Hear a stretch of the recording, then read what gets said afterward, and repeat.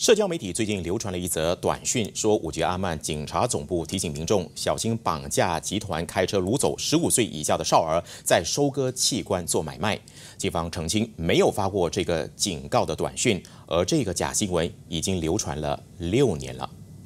五吉阿曼今早发文告表示，假新闻宣称不法集团使用一辆国产轿车和白色客货车掳走少儿，还清楚列出肝脏、肺。肾脏和眼睛在内不同部位器官的价格，警方今天表明没有接获相关案件的投报，而且这个假新闻早在二零一六年就开始在不同的社交媒体流传。警方再次促请民众不要转发未经证实的假消息，避免引起社会恐慌。